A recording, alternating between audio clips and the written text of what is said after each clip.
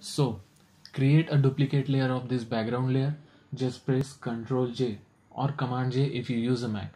Now, if you observe here, you can see extra yellow color on his face.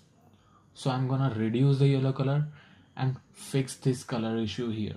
Okay, so let me show you how you can deal with this kind of case. Okay, so just go to this adjustment layer icon, click on it. Now there you have option curves.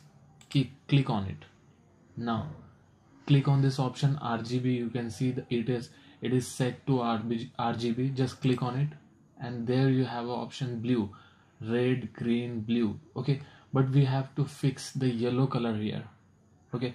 So you can see yellow is not present here but let me tell you that blue is opposite of yellow color okay? Remember this blue is opposite of yellow color. So you can select this blue color. Just click on it. Okay. Now as I told you blue is opposite of yellow color.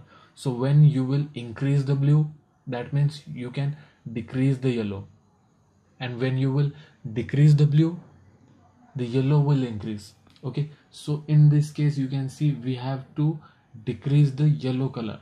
So for that we need to increase the blue. Okay. So to increase the blue just click here and just increase the blue. Just move it up just like this. You can see. Yellow color is gone. Now let me show you. This is the before more yellow and this is the after. Yellow is gone. Now let's move to the second case okay?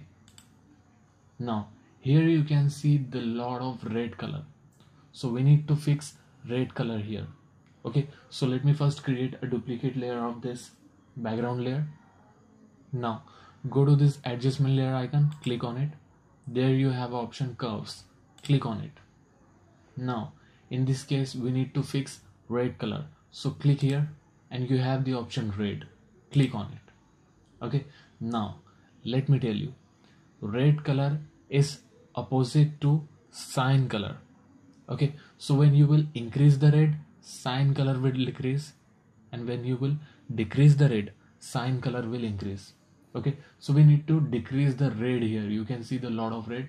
So just click on here and just decrease the red. Okay?